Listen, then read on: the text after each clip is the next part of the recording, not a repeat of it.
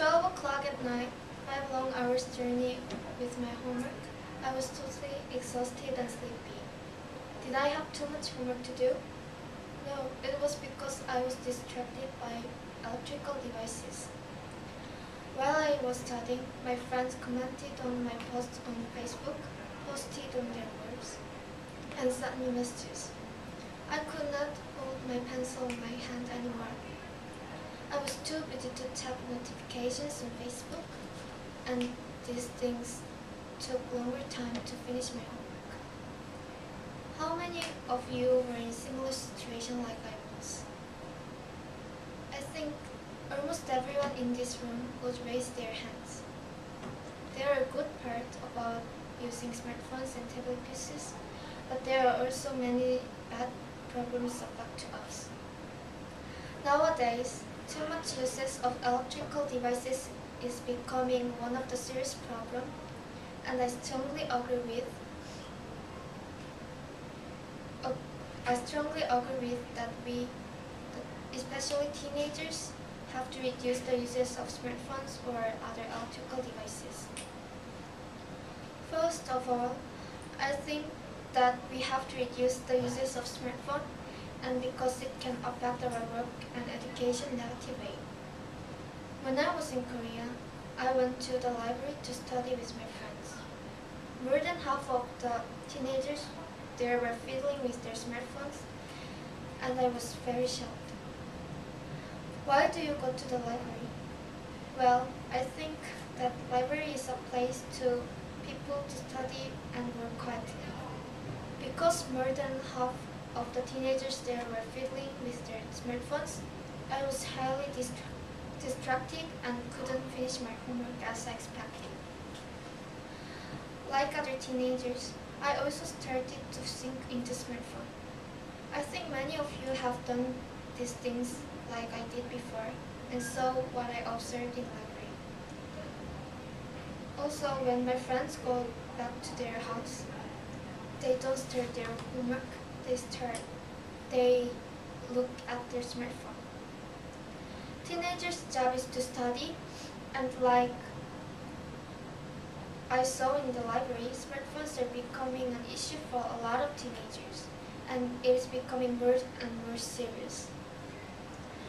One of the reasons why smartphones were in invented was to invent help helpful tools for studying, and it is usually actually a good tool for me to study. However, I saw many people spending time with smartphones without working or studying, including myself.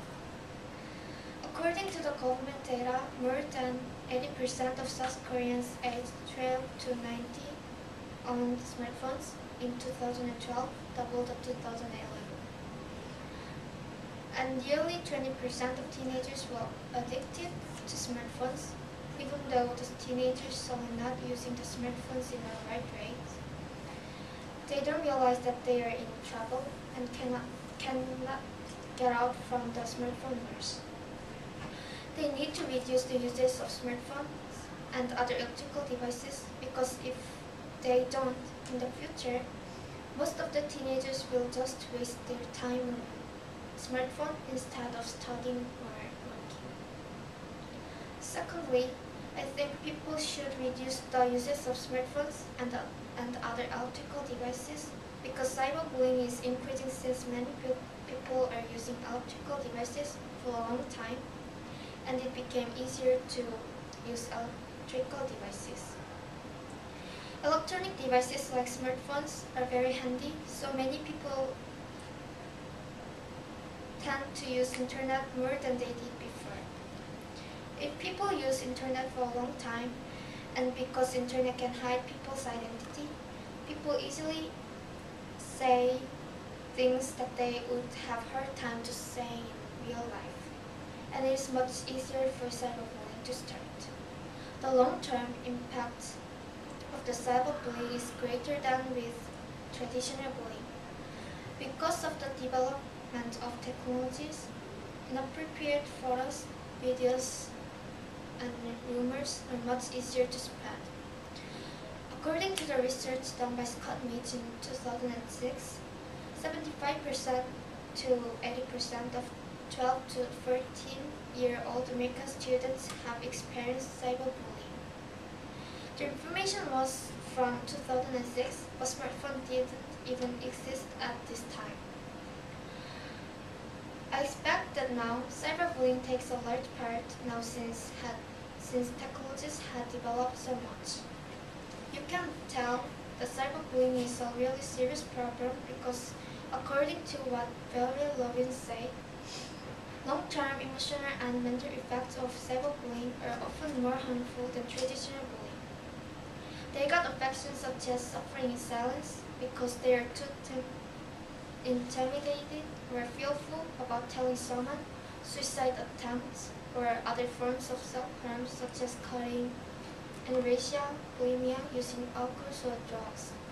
And they feel anxious, depression, isolation, panic disorder, and sleep difficulties. Personally, I can really connect with this problem. If I'm a person who got bullied online, I would be afraid to talk to people and think that I don't want to live anymore. Every day would be hell for me and it would be really hard to hard for me to meet other people. Change the position and think. I would be really harmful it would be really harmful and fearful when someone bullied you. The people who are bullying must know that they are giving the deepest hurt, which they can never forget. I truly think that there should be no cyberbullying, and in order to reduce that, people should reduce the uses of smartphones and other electrical devices. Lastly, I think that persons should reduce the uses of smartphone because it is harmful for our bodies and can make us unhealthy. If you use electrical devices, electromagnetic waves and radiations come out the World Health Organization does consider cell phone radiation to be possible carcinogenic to humans. To that extension, extent, electromagnetic waves and radiations from smartphones can, can make you carcinogenic, which is very terrifying. This is not at all. The, the health article said, when we are really focusing on the smartphone inside the smart screen, our eyes have to work harder and harder to read more things and need more power. This actually makes our sight worse.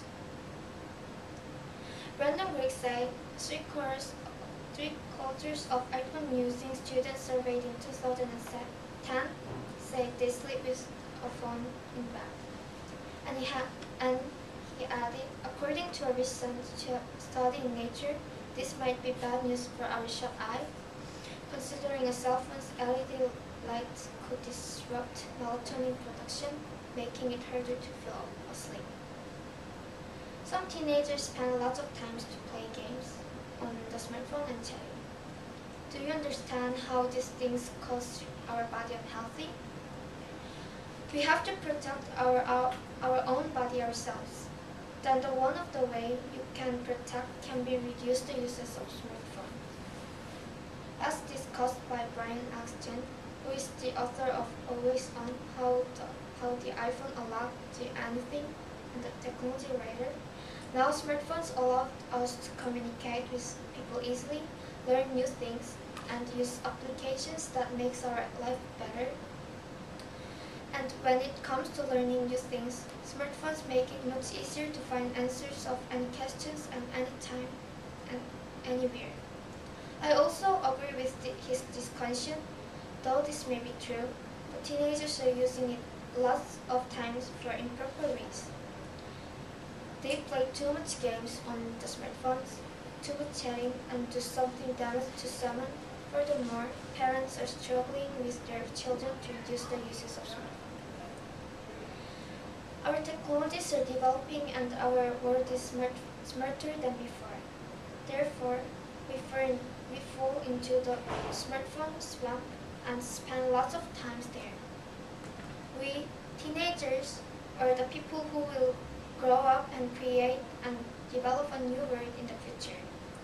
Maybe our parents are also expecting us to find and learn more things and contribute or open to the world to make the world better. Now, this is our turn. We should change. Smartphones make us be addicted and distract our attention to unable to concentrate on our studies. Smartphone make cyberbullying happen fre- frequently. Smartphones makes our body be affected by bad influences. Let's help my brain get out from the smartphone rush and make my exhausted and sleepy journey time shorter. If I want to make it, then I have to try to reduce my time spent with smartphone or other electrical devices. If we reduce the uses of smartphones, we would be able to see our world widely than just seeing the small screen of our smartphones, using it for a proper time with proper ways, and don't waste our time to do unnecess- unnecessary things. It would be much better.